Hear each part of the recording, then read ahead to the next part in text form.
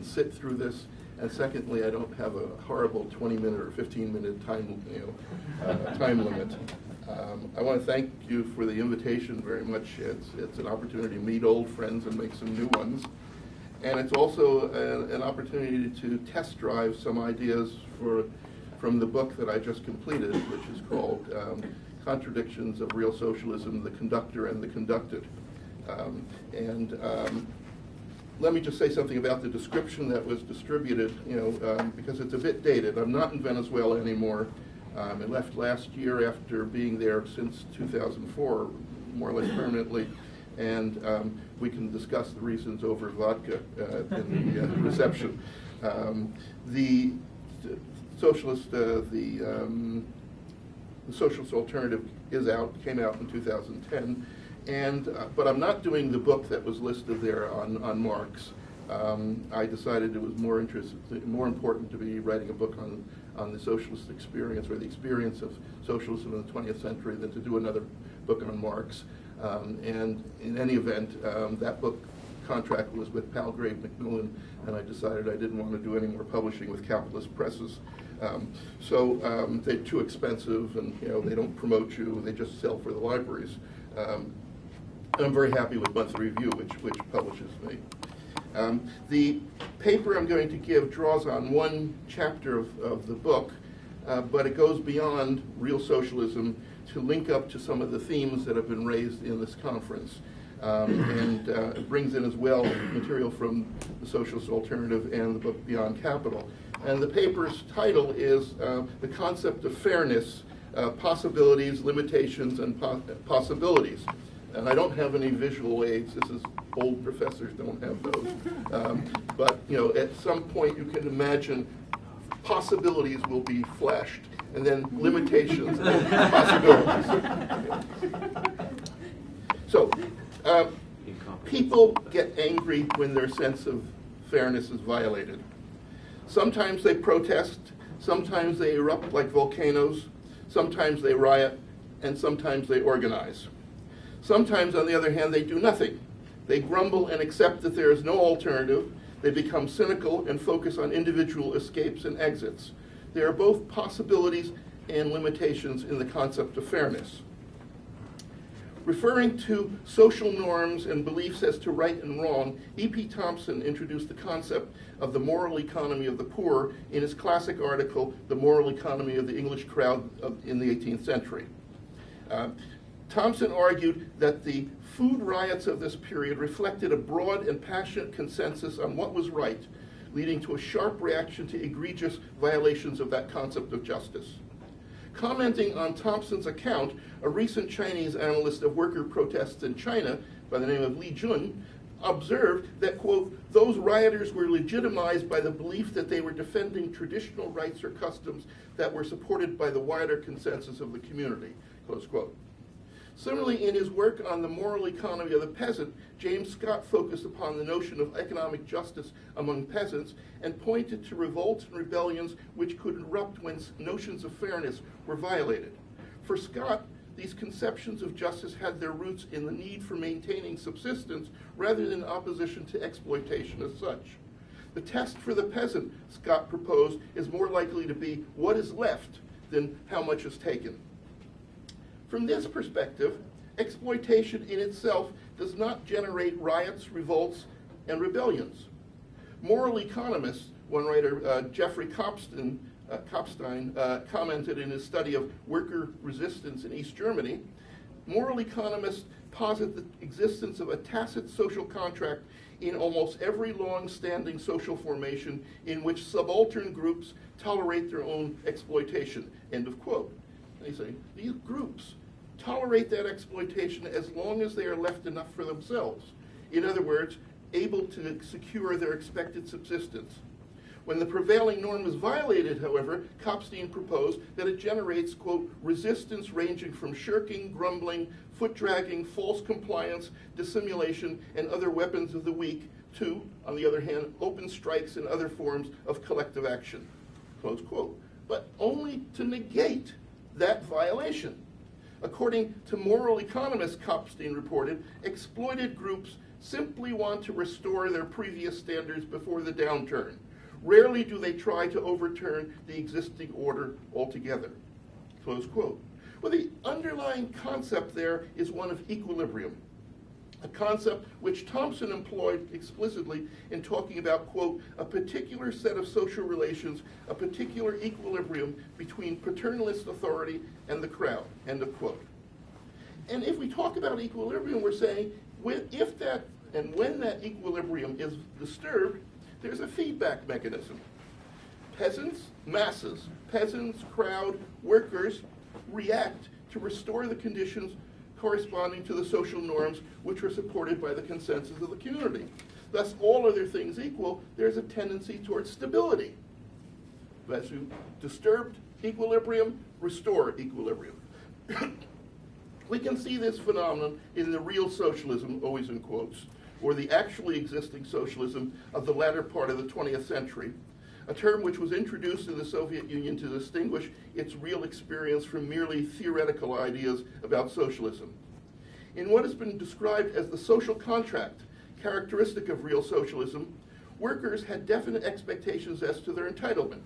They expected rising income over time, subsidized necessities, relative egalitarianism, and especially job rights. Not only the guarantee of a job, which was supported by a full employment policy, but also protection from any changes in their existing jobs which they did not want. In return, workers accepted the rule of the vanguard party in the workplace and society and comprehensive restrictions upon any power and indeed initiatives from below.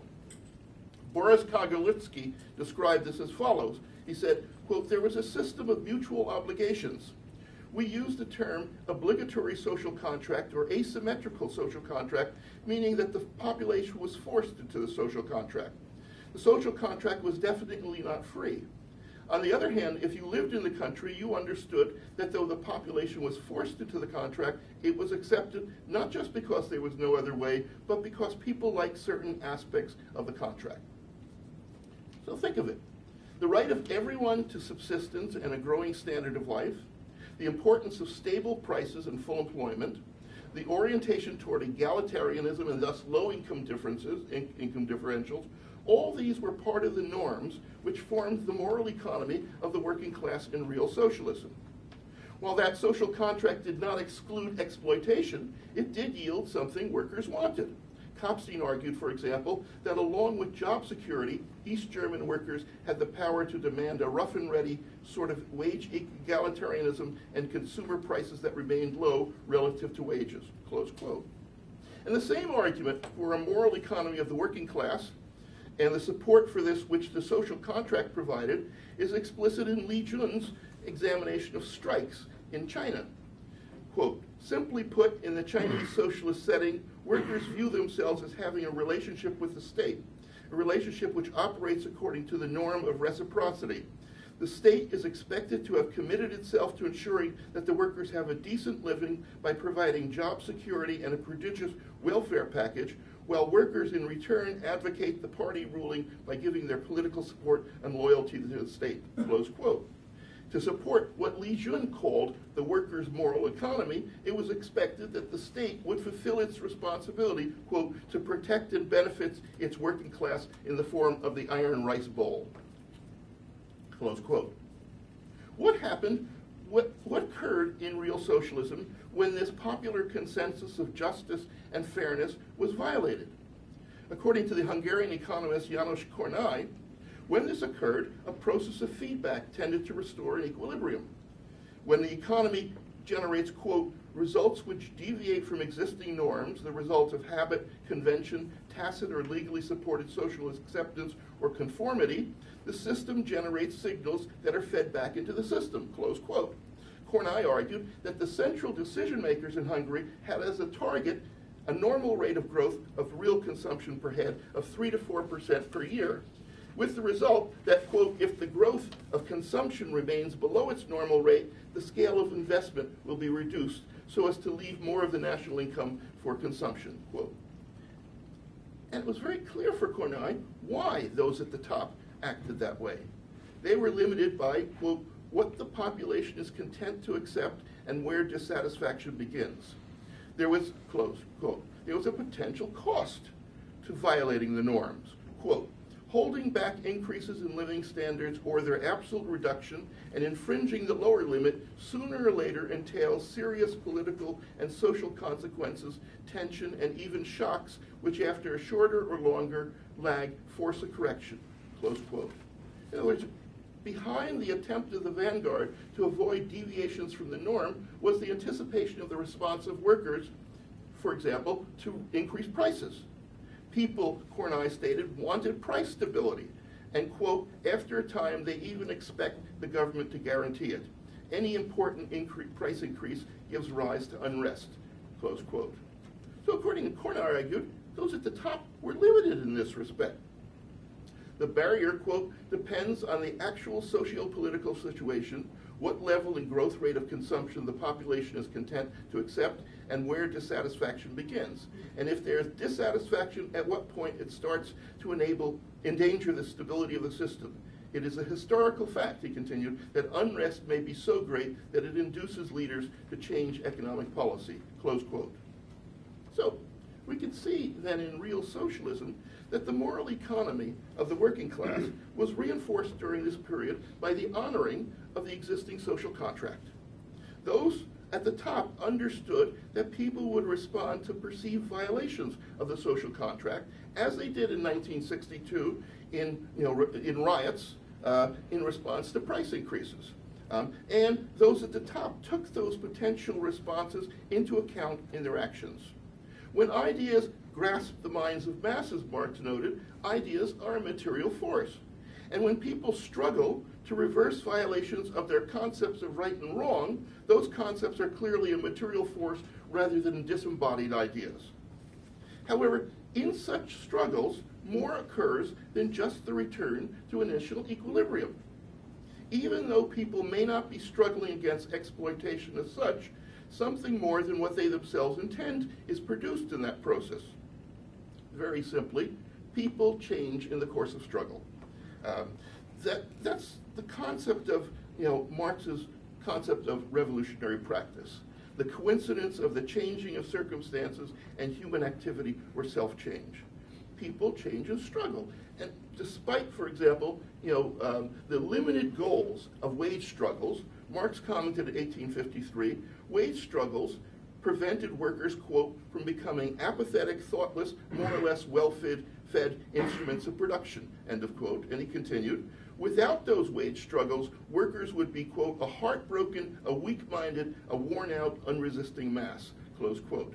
And he returned to the same point in 1865, noting that workers who did not engage in wage struggles, quote, would be degraded to one level mass of broken wretches past salvation, close quote. Can we doubt that? After all, those who are not engaged in struggle are producing themselves as people of a particular type. Thus, even though the moral economy of the working class as such is not an immediate challenge to exploitation, it can be the basis for a process by which workers themselves change in the course of struggle. This then is the possibility inherent in the concepts of right and wrong and of fairness characteristic of the moral economy of the working class. It's the possibility of building upon those existing beliefs to the point of challenging exploitation and the system itself directly. Limitations. and yet, the example of real socialism points to the real limits of that moral economy concept. It demonstrates that concepts of fairness and of a consensus of, of what is right and what is wrong are not sufficient to prevent their violation. After all, in real socialism, the social contract, which basically was there from 1950, and that's the period I'm looking at, 1950 to through the 80s, uh, the social contract, which embodied and reinforced the moral economy of the working class, was not merely unfulfilled in some respect. On the contrary, it was unilaterally revoked by the vanguard. And rather than this leading to resistance by the working class to restore the social contract, there was no appreciable resistance to the ending of the social contract, whether it was in the Soviet Union, Eastern Europe, China, or currently in Cuba. And this problem is not simply a particular characteristic of real socialism. After all, consider what happened to the moral economy of the poor discussed by E.P. Thompson. The historic particular set of relations, that particular equilibrium between paternalist authority and the crowd that he described also came to an end. As in the case of real socialism, Thompson observed that, quote, the nature of things which had once made imperative in times of dearth at least some symbolic solidarity between the rulers and the poor, now dictated solidarity between the rulers and the employment of capital, close quote. In other words, those protests of the 18th century were defeated. They went beyond them. And if we add to these cases the experience in the developed capitalist world in the period after World War II, when the so called Golden Age and Capital Labor Accord were dissolved from the top without serious resistance from the working class, there appears to be a definite pattern. And that pattern is that in every tacit social contract based merely upon inherited concepts of fairness, the subaltern groups cannot prevent the social contract from being abandoned entirely by those who rule. To understand why, consider Marx's discussion of the spontaneous concepts of fairness characteristic of workers in 19th century capitalism. Marx understood that the attitudes and notions of moral economy exist at the surface of society. Rather than revealing the actual relations, they reflect how things appear and may necessarily appear to the real actors. What is apparent in everyday life spontaneously produces the ideas that grasp the minds of masses and underlie their actions. After all, what did workers in 19th century Europe struggle about? In his book, or short his talk, Value, Price, and Profit, Marx observed that 99% of wage struggles followed changes that had led wages to fall. Quote, in one word, they were reactions of labor against the previous action of capital, close quote. In short, those wage struggles were attempts to restore the traditional standard of life which was under attack, just like the moral economy discussions. The spontaneous impulse of workers under these conditions, accordingly, was to fight for fairness against the violations of existing norms indeed, to fight a guerrilla war against effects initiated by capital, Marx's term. The explicit goal of, of workers, Marx noted, was to struggle for, quote, a fair day's wage for a fair day's work, close quote. And in doing so, they were not attempting to change the system, nor were they indeed struggling against exploitation, except insofar as exploitation was understood as unfairness. Accordingly, Marx described the demands of workers as conservative, and he argued that instead of those demands for fairness, they ought to inscribe on their banner the revolutionary watchword, abolition of the wages system. Yet, Marx understood quite well why the workers' slogan focused on fair wages and a fair workday. It flows from the necessary appearance of a transaction in which the worker yields the property right to use her capacity to work, in other words, her labor power, for a given period.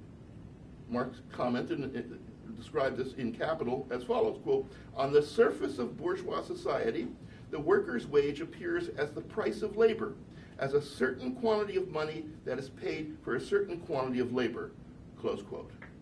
Thus, the conscious struggle of workers over the fairness of that certain quantity of money and the fairness of that certain quantity of labor follows. What is perceived as just and fair is that they receive an equivalent for their labor, that they're not cheated. This follows from the way the wage necessarily appears as this payment for a quantity of labor. From the form of the wage as this payment for a given workday, Marx commented, quote, from this comes all the notions of justice held by both the worker and the capitalist. Close quote. Nothing is easier, Marx commented, to understand than the necessity, the raison d'etre, of this form of appearance, a form of appearance which underlies the moral economy of the working class in capitalism. In short, that appearance was not an accident. nor was the moral economy of workers based on appearances an accident. On the surface, the worker sells her labor to the capitalist. However, this form of appearance, Marx commented, quote, makes the actual relation invisible and indeed presents to the eye the precise opposite of that relation.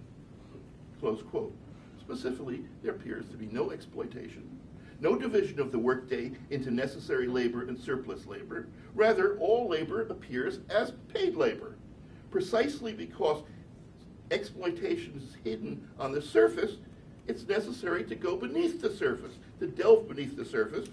Marx's point was, quote, the, the forms of appearance are reproduced directly and spontaneously as current and usual modes of thought. The essential relation must first be discovered by science, close quote. In other words, at the level of appearances, we cannot understand capitalism. Well, the interconnection of the reproduction process is not understood, Marx said. Close quote. Accordingly, he, he rejected a focus on individual commodity transactions, sales of labor power, and examined the underlying structure of capitalism. What was the nature of the system and how was it reproduced? And that is the central question in Marx's Capital. Considering workers as a whole, he assumed that in return for yielding to the capitalists the use of their capacities, workers receive their traditional standard of life what is necessary to reproduce them as wage laborers in a given time and place. This concept of a given standard of necessity, which is the basis for the value of labor power, allowed Marx to demonstrate how the working day is divided into necessary labor and surplus labor, and how exploitation of workers is the necessary condition for the reproduction of capitalists. For this absolutely critical deduction, however, Marx did not have to explain the basis of this existing standard of necessity. Indeed, he simply assumed it as given, which was an assumption he indicated in, in, several places he intended to remove in his projected book on wage labor. With his approach of making that assumption, Marx was able to reveal the nature of capital and its inherent tendencies, something that a focus on appearances can never reveal. Thus, the case was made for the necessity to end capitalist relations of production rather than to struggle for fair wages. How else could we understand what capital is without the critique of those forms of appearance which underlie the moral economy of the working class in capitalism? Indeed, the apparent relation of exchange between capital defies the actual relation, quote, and ensures the perception the perpetuation of a specific relationship of dependency, endowing it with the deceptive illusion of a transaction. To an, end of quote. To enable workers to go beyond that conservative motto to the revolutionary watchword, Marx offered the weapon of critique, a critique based on an alternative political economy, the political economy of the working class. However, the political economy of the working class introduced by Marx was incomplete. What determines the standards underlying concept of fairness? What determines the equilibrium, which is the basis of consensus? That's not a question that Marx explicitly considered theoretically. After all, he began with the assumption that the traditional standard of life, the standard of necessity, was given while that assumption was sufficient to demonstrate that capital is the result of the exploitation of workers, with this assumption, we cannot explore theoretically what determines the standard of necessity. Accordingly, we're unable to consider the factors which cause the standard of necessity to change. What allows it to be driven downward? And what prevents this? In my book, Beyond Capital, I demonstrated that with the removal of this assumption of a fixed standard of life, the assumption that Marx intended to remove in his book on wage labor, it is no longer possible to argue that the automatic effect of productivity increases is the growth of exploitation. In other words, you can no longer, with what the tools there, once you remove that, that assumption of a fixed standard of necessity, you can no longer make the case that Marx makes in capital for relative surplus value, inevitably flowing from increased productivity to understand the determination of the standard of necessity and the rate of exploitation and any movements in these, the state of class struggle is essential to consider. And for that purpose, I introduced as a variable the concept of the degree of separation among workers, which is a concept that draws upon Marx's observation in Capital that, quote, the dispersal of the rural workers breaks their power of resistance while concentration increases that of the urban workers, close quote. And then later he says, quote, the workers' power of resistance declines with their dispersal, close quote. By explicitly articulating this variable, the degree of separation among workers, we acknowledge that the potential for collective struggle, both its emergence and its prospect for success, will be significantly influenced by the degree of separation among workers. If workers are isolated and atomized, if they're separated from other workers and indeed view them as enemies, then there's little prospect for collective action. As Marx commented with respect to the antagonism between English and Irish workers, quote, this is the secret of the impotence of the English working class despite its organization, close quote. And indeed, it should be obvious that workers are separated not merely or not purely by economic factors. Racism, sexism, geographical location, as well as legal and ideological barriers to collective action all contribute to separation among workers, and thus they contribute to the maintenance of existing structures. Marx noted with respect to the impotence of the English working class that the separation of English and Irish, workers is, quote, the secret by which the capitalist class maintains its power, and that class is fully aware of it, close quote.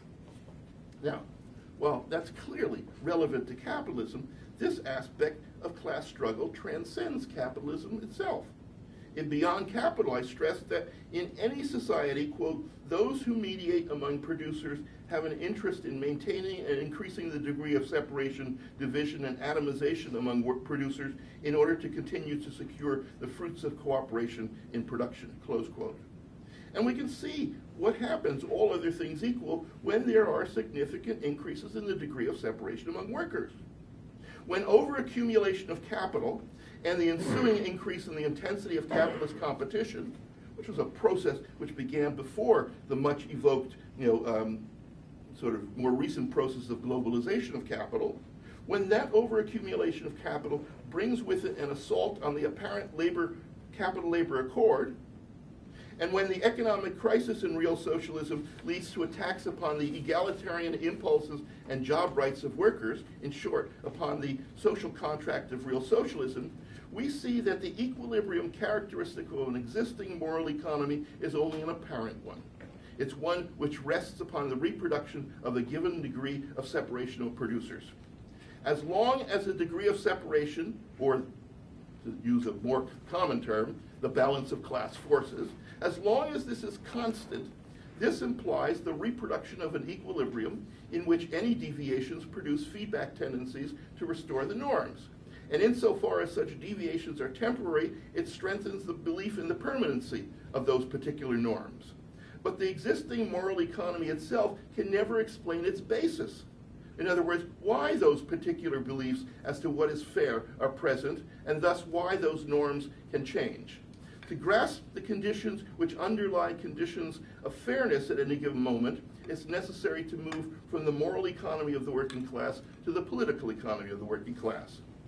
For revolutionaries who would help to put an end to existing structures of exploitation and deformation, it's essential to recognize the importance of the moral economy of the working class, but to go beyond it.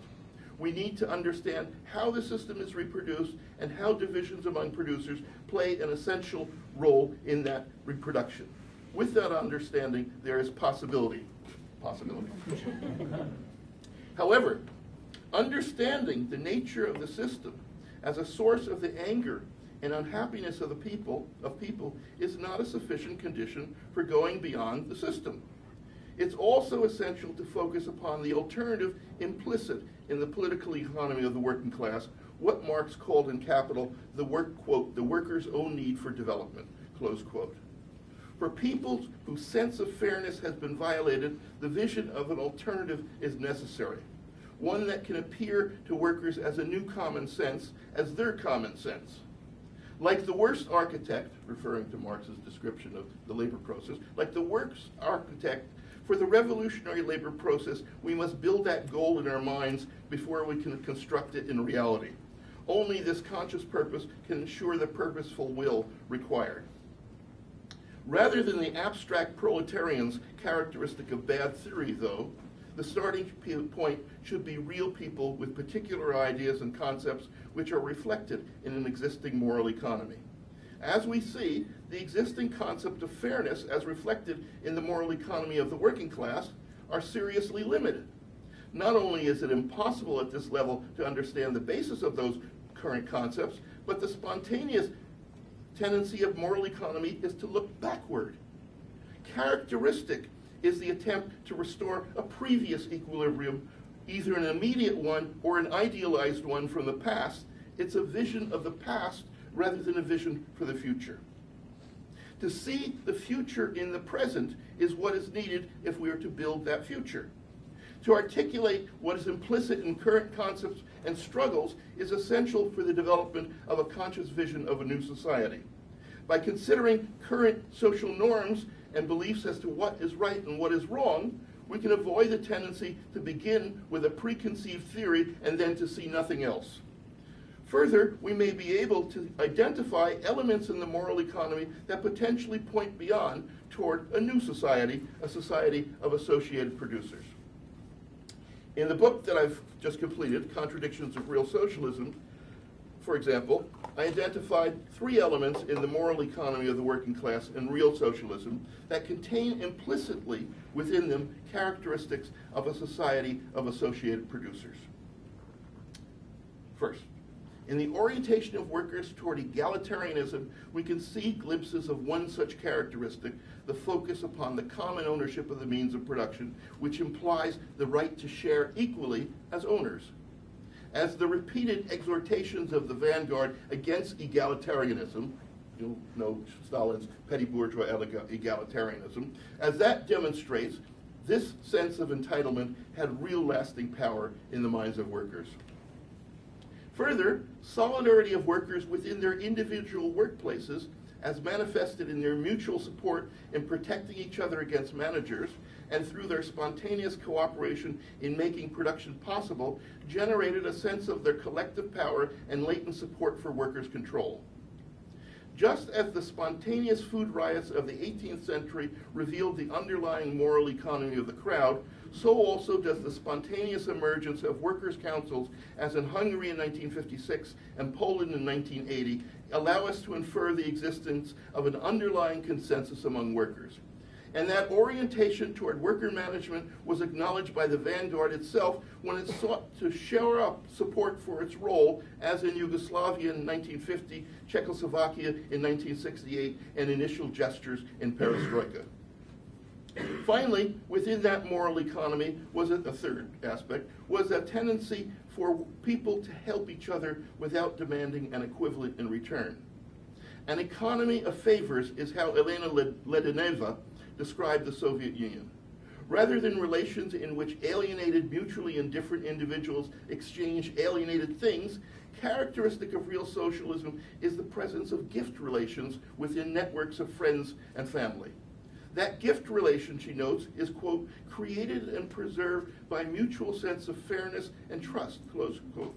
It presumes people who have a bond, people who have a past and hope to have a future, and its product is the enhancement of solidarity within those bounds. In this third element of the moral economy of the working class in real socialism, there is latent a society based on solidarity and community one where we support others to the best of our ability. In the moral economy of the working class and real socialism, we can thus glimpse three sides of what I identified in the socialist alternative as the organic system of socialism, which Hugo Chavez of Venezuela called the elementary socialist triangle. Social ownership of the means of production, social production organized by workers, and communal needs and purposes as the goal of productive activity. By articulating the characteristics of this particular combination of production, distribution, and consumption, it's possible to present a coherent vision that transcends the existing moral economy. And it's not only in real socialism that such elements are implicit. In current struggles within capitalism, both within imperialist and colonial countries, similar themes are present equality, democracy, and solidarity. By themselves, those themes represent partial rejections of existing structures. However, to the extent that they remain partial, they cannot offer a vision that goes beyond the existing moral economy. By demonstrating their interdependence within, organic, within an organic socialist system, it's possible to offer an alternative common sense, one which contains a new sense of fairness, the potential for a new moral economy. Of course, we all know that the real socialism of the 20th century is not that vision.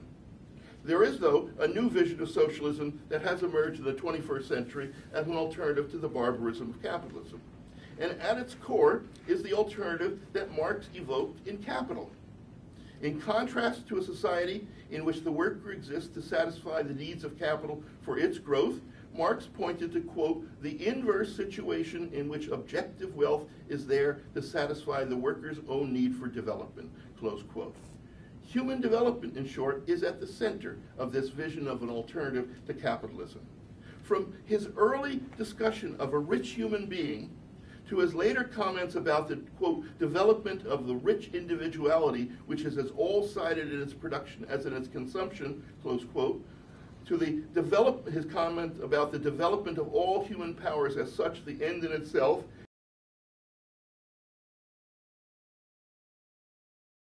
and the all-round development of the individual, Marx focused upon our need for the full development of our capacities. This is the essence of his conception of socialism, a society that removes all obstacles to the full development of human beings. But Marx always understood that human development requires practice. It does not come as a gift from above. His concept of revolutionary practice, that concept of the coincidence of changing of circumstances and human activity or self-change, is the red thread that runs throughout his work. In every process of human activity, there is more than one product of labor. Starting from his articulation of the concept of revolutionary practice, Marx consistently stressed that through their activity, people simultaneously change as they change circumstances. We develop ourselves, in short, through our own practice and are the products of all our activities, the products of our struggles or the lack of same, the products of all our relations in which we produce and interact. In every human activity, in short, there is a joint product, both the change in the object of labor and the change in the laborer herself. Marx's unity of human development and practice constitutes the key link that we need to grasp if we are to talk about socialism. What kind of productive relations can provide the conditions for the full development of human capacities? Only those in which there's conscious cooperation among associated producers. Only those in which the goal of production is that of the workers themselves. Worker management, which ends the division between thinking and doing, is essential, but clearly this requires more than worker management in individual workplaces. They must be the goals of workers in society too, workers in their communities.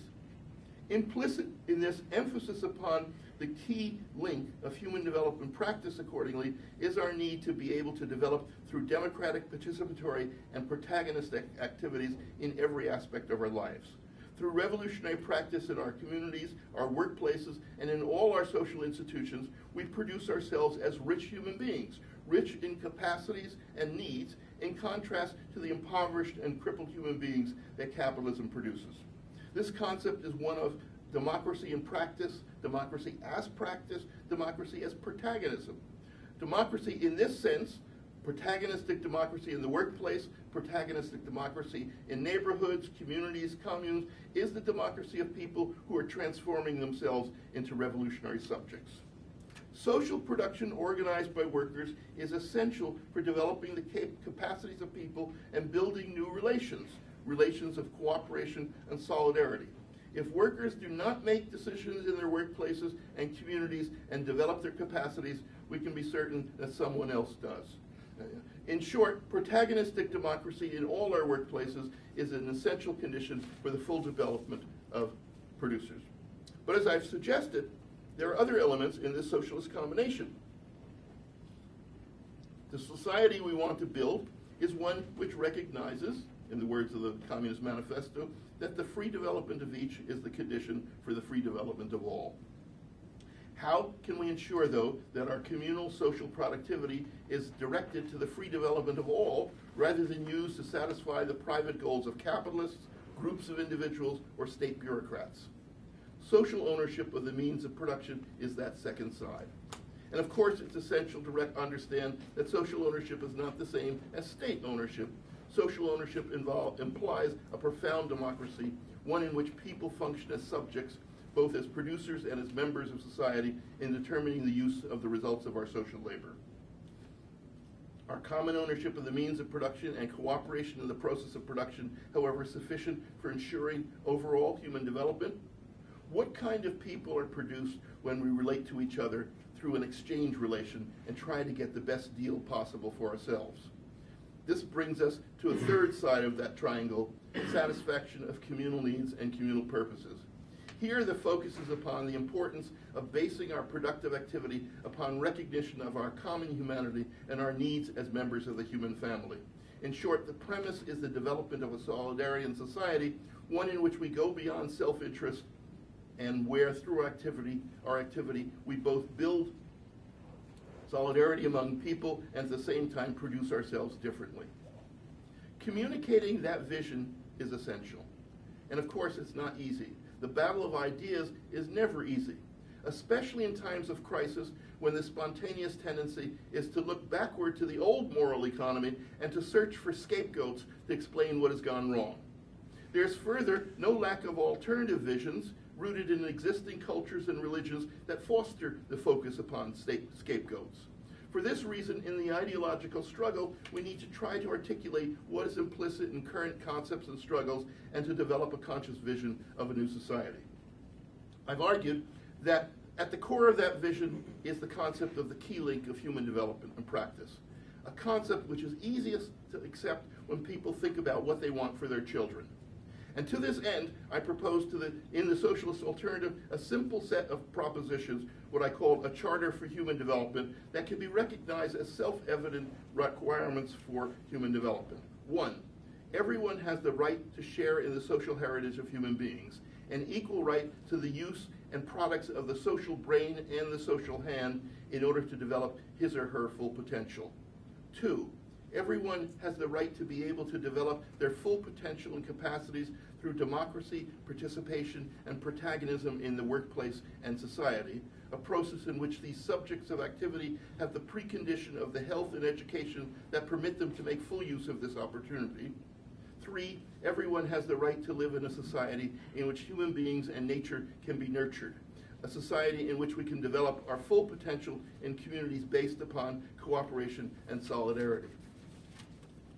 The goal of such a charter is to redefine the concept of fairness, to stress that it is unfair that some people monopolize the social heritage of all human beings, that it is unfair that some people are able to develop their capacities through their activities while others are crippled and deformed, and that it is unfair that we are forced into structures which, in which we view each other as competitors and enemies. Is it possible to redefine the concept of fairness and to build a new moral economy of the working class? Certainly, it's not inevitable. The choice before us is familiar socialism or barbarism. Thank you.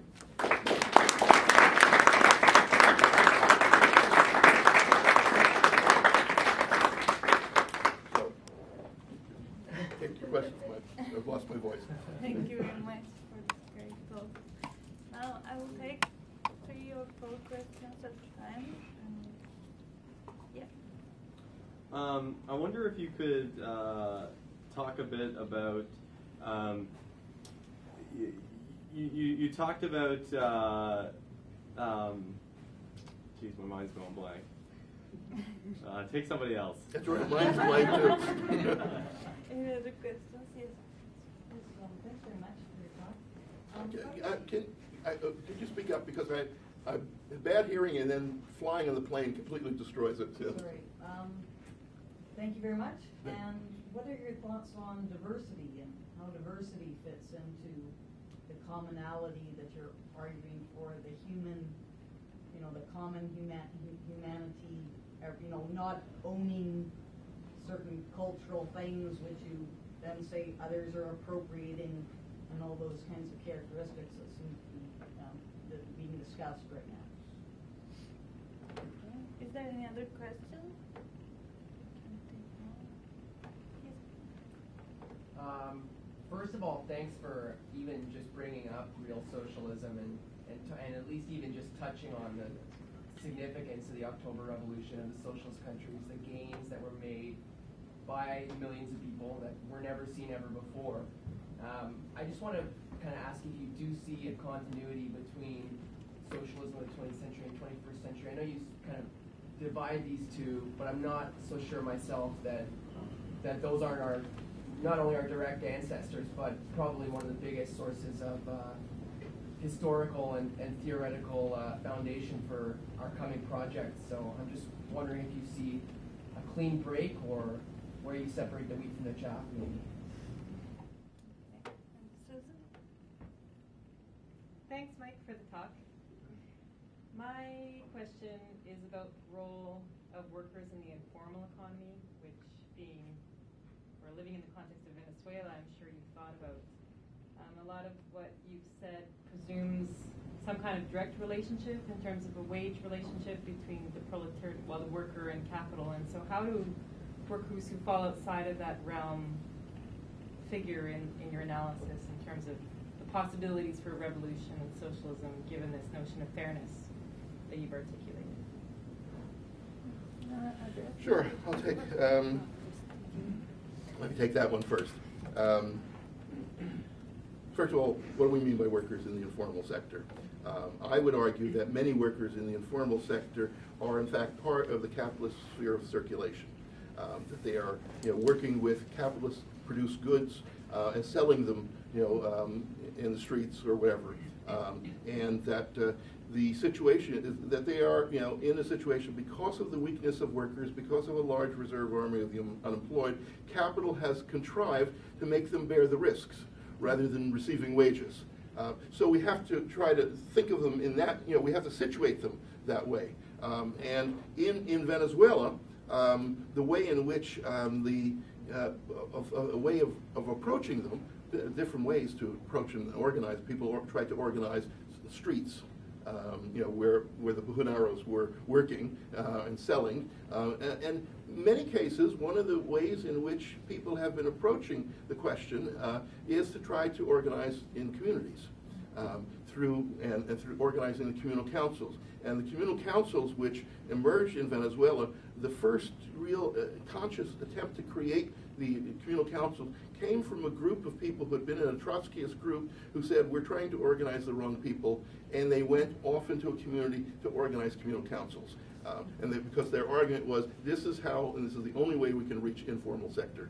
Um, so that, I, I think I would answer, I think that answers your question. I mean, I, you have to find ways to reach them, but it's, I think, wrong to assume that workers have only been reached and organized in their places of work. They've always been reached through their communities. You know, uh, many often they're they're reached, you know, uh, through you know locational communities, um, but often they're they're reached through their ethnic communities. Certainly, that's true of immigrant workers. You you know organize some you know uh, you know people from one particular immigrant group. You have now access to all those hospitals you know that are that are drawing upon the, that same ethnic group. You know because the word spreads. Um, so I think you know we we have to recognize that that you know. Uh, organizing workers is, is not one-dimensional. You know, so. As far as the question of diversity versus um, commonality and my, my thoughts on that. Um, well, I, I thought I, I basically indicated what I felt about that. Uh, I think it's absolutely wrong to attack people who focus on diversity, who have their, their you know, that, who have their identities in particular, you know, have particular characteristics. Uh, you have to take them as the starting point and then proceed to show them that the, the questions go beyond. Uh, that's what I mean here by saying we, we start with real people and their ideas and what they are struggling over, and then we attempt to show. Marx said this in this letter in 1843. You know, we do not tell. You know, we try to explain to people why they are struggling. You know, take, you take people who are already struggling and you try to explain the underlying structure. And the argument I was making here was if you don't, then you are left with this perspective which is at the forms of appearance and you don't get them to understand the nature of the system and thereby create the potential of going beyond it. So, so there's a starting point, but there are limits to remaining at that starting point. Um, as far as the uh, issue of 20th century socialism versus 21st century socialism, the first question you every socialist should ask is, why didn't workers resist the ending of the return of capitalism? You know, I mean, that's the first question you have to ask. You know, country after country, there was no resistance, and you know, the same process. I mean, I, I I'm very closely attached to Cuba. You know, in terms of my own emotional and political feelings, uh, and it's a horror for me to read, you know, the Cuban economists saying exactly what the Soviet economists and all the Eastern European economists were saying in the 60s, 70s, and 80s. You know, um, in, in the book, I actually say, the, the new book, I say the economists were the spokesperson of capital. Um, you know, and that's true in Cuba as well at this particular point. Uh, so the first question we, we have to ask why, you know, uh, what was wrong in, in that model of 20th century socialism? Uh, certainly, you know, providing all these things that workers in capitalism could not possibly get you know, uh, the, the security in the jobs, security in, you know, in, in terms of their consumption, all these aspects, the access to education, the access to health, you know, that was, you know, it's a paradox though, in the sense that it's a paradox because those are things that the most highly organized working class movements within capitalism could not achieve.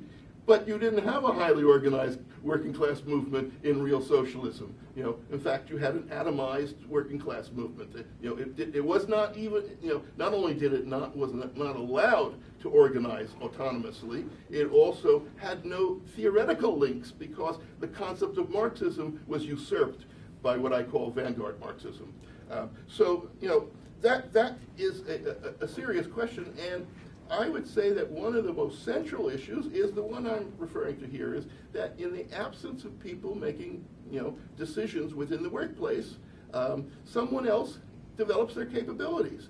Workers did not develop their capabilities, did not develop you know uh, an ability to organize, uh, and um, you know they were alienated from the system. Um, and uh, there were experiments, um, and, you know, in various places. Uh, you know, in, in the Soviet Union, there was one experiment called the Akchi experiment, where they began to, you know, rotate work, you know, rotate leadership within within the, you know, particular uh, communes, um, and you know, and it was go- going very nicely, um, and productivity was increased, and it was killed. You know, and one of the central questions always was, and I've seen it, you know, in a number of places. The question was, well, if they're doing this, what's the role of the party? You know, I mean, if, you know, uh, and that that is a, a problem. So, my book is has the subtitle, "The Conductor and the Conducted," um, and you know, uh, and the, the concept of the conductor is the conductor thinks that they are able to bring all these wonderful things, and that if they have the power, they will deliver socialism. Um, but there's a problem when people are just conducted. Yes. Covered.